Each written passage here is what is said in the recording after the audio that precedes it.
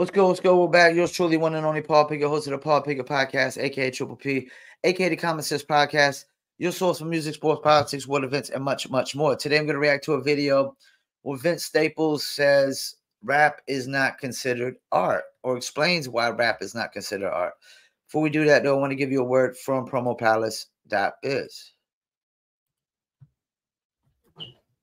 Marketing and promotion then look no further than Promo Palace LLC, your one stop shop for all music promotion services.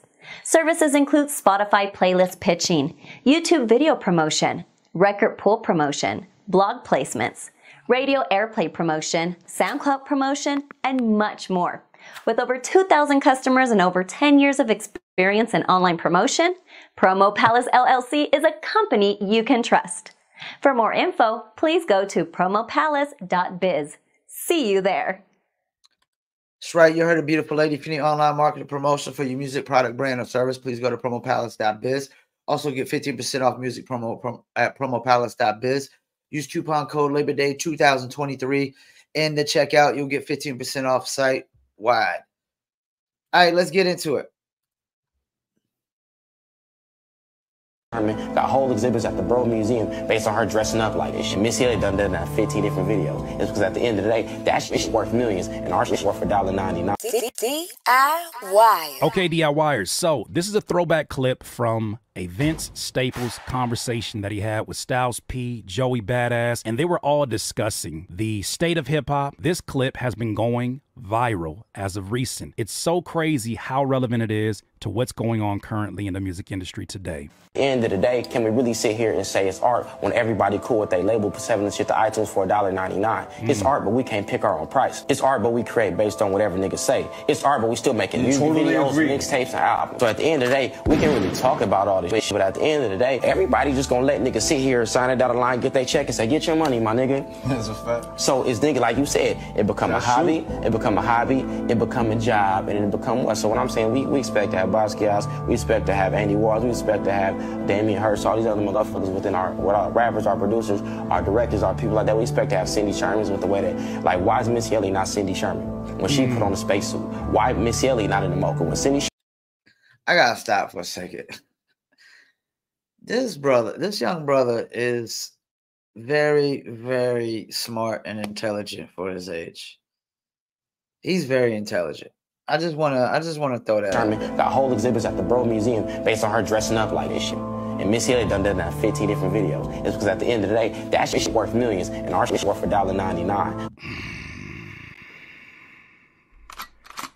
There is an imbalance a very obvious imbalance, and we know there are reasons for that because rap is held in such a low standard by folks who don't participate in it or by folks who don't respect the craft that it is. Vince is saying part of that reason is because of the way that our art is interpreted is not actually parallel to the way that other art forms are interpreted are celebrated. He brings up Missy Elliott. There are people who get celebrated for their risky and edgy approaches to fashion. Well, Missy Elliott's been doing that for since most of us were kids. I know that there's a lot of names that we've been exposed to our entire lives and we've been told how much of a genius they are. Even though I know when I was coming up reading Hamlet in high school, that shit was whack as hell. No disrespect. R.I.P. Shakespeare. But there's been so many people that have been pushed in front of our eyes as being the geniuses of art, the geniuses of writing. That nigga can't rap a 16 though. Can he rap in double time? Huh? Therefore art thou. Shut your ass up, boy. That nigga sell, you know, 50,000 ounces, 5,000 ounces, and oh, he's a bum. But it's, it's only one of these paintings a piece. Mm, well, say that then, Vince. Say that then, Vince. That let me stop right there. So, I mean, that's a good point. Like these paintings, you know, Andy Warhols and stuff like that, they Mona Lisa, there's just one of them. And that what that's what makes it so valuable. And then you got this single that you know, back in the physical days, there was however many copies they pressed up, and that's how many copies there was. And we know in a um, economic world, a lot of monetary value is put on things when they're rare, when there's not very um many amounts of them, like baseball card, like Michael Jordan rookie cards. There's not a lot of Michael Jordan rookie cards floating around, you know, things of that nature. The the very first Jordans, you know. People put a lot of value on things when there's only small amounts of them. And artwork is at the top of the list. And music, there's music is in abundance. There's just there's too much damn music.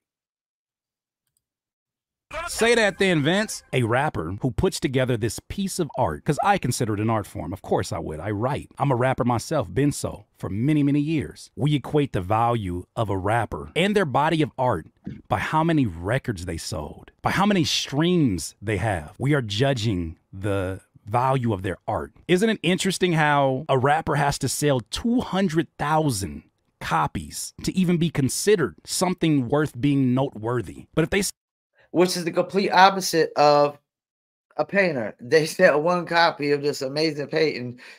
Voila, they're you know top dog. But you gotta sell 200,000 copies of your joy as a musician to be considered anything sell 50,000? Ah, man, that art is trash. When you compare it to a painter, they sell one of one and it becomes something that nobody else has access to and it gets sold for millions. People don't laugh at that one on one getting sold, but you only sold one painting. People don't laugh at that. Now, when you compare it to hip hop, you ask, has that ever been done before? Yes. Nipsey Hussle came through and revitalized and reinvented that idea. We ain't never clown on nigga for only selling one painting or only being in one museum or only or, or only, only doing one movie, only doing two movies. We clown. It's it's it's like you said. It's not about the music. So what I'm saying is that's what that was my Lloyd Banks point.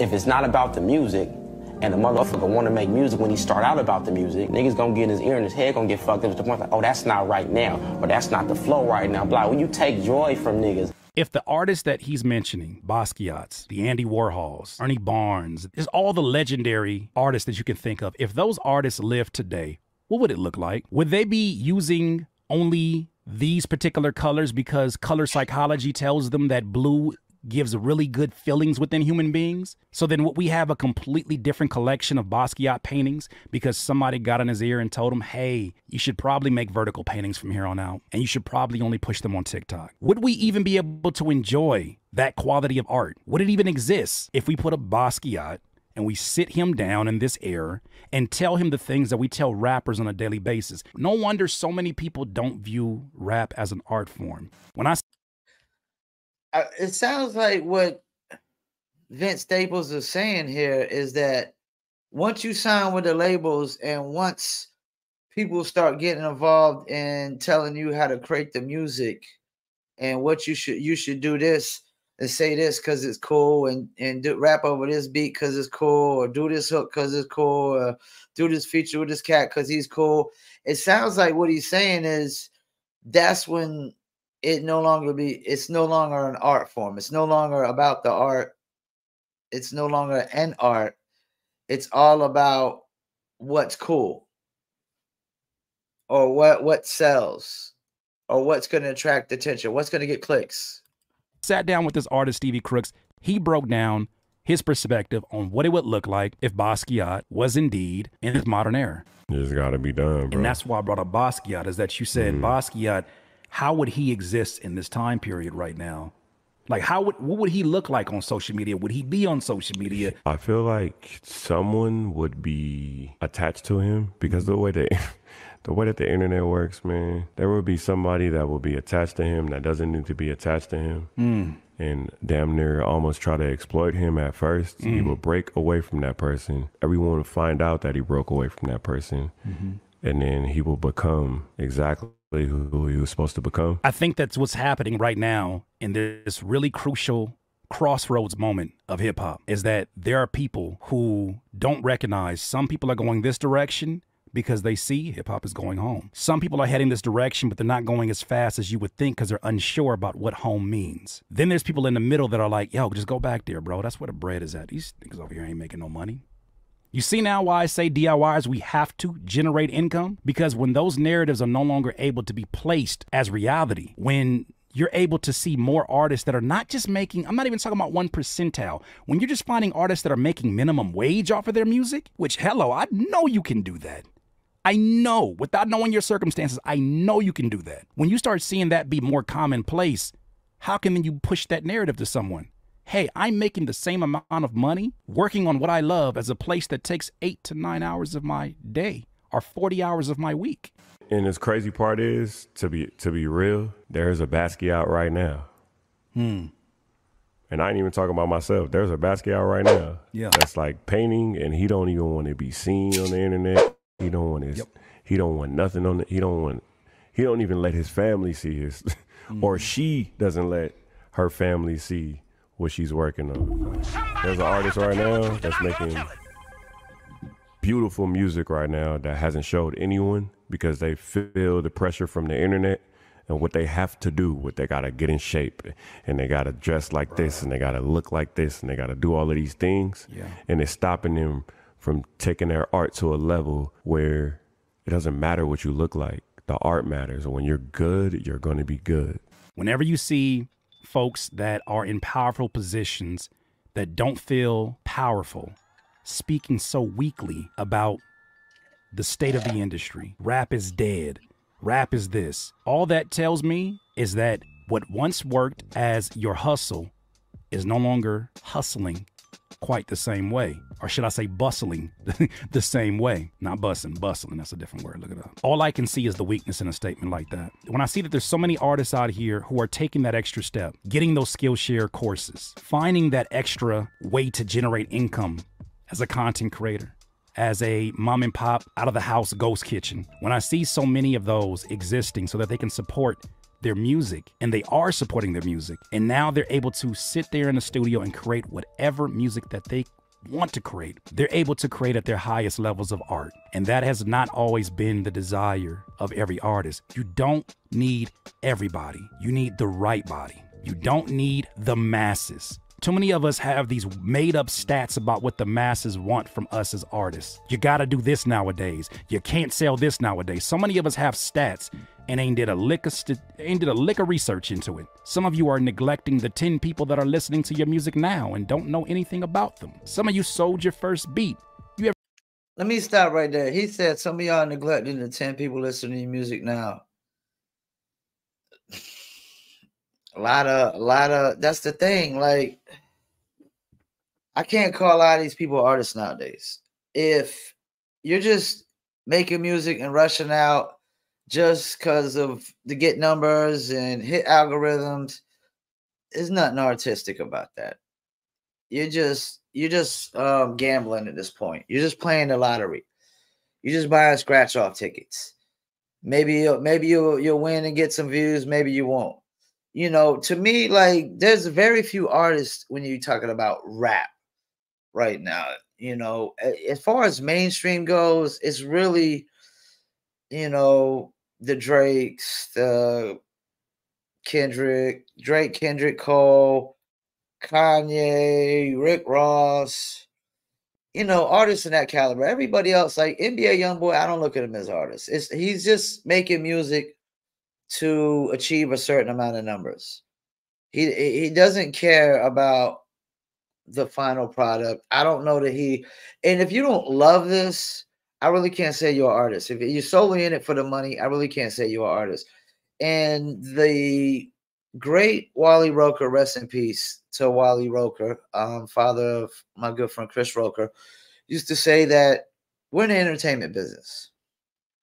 This is the entertainment business. It's not the art business, it's the entertainment business. Your job is to entertain. Yes, there's some cats that are very artistic with their flow and their music. And that's why their music is timeless and considered great. But for the most part in rap, yeah, I don't know, man. Uh, dollar ninety nine. If I'm paying a dollar ninety nine for something, I don't consider that art. I don't consider it a dollar uh, art if I'm paying a dollar ninety nine for it.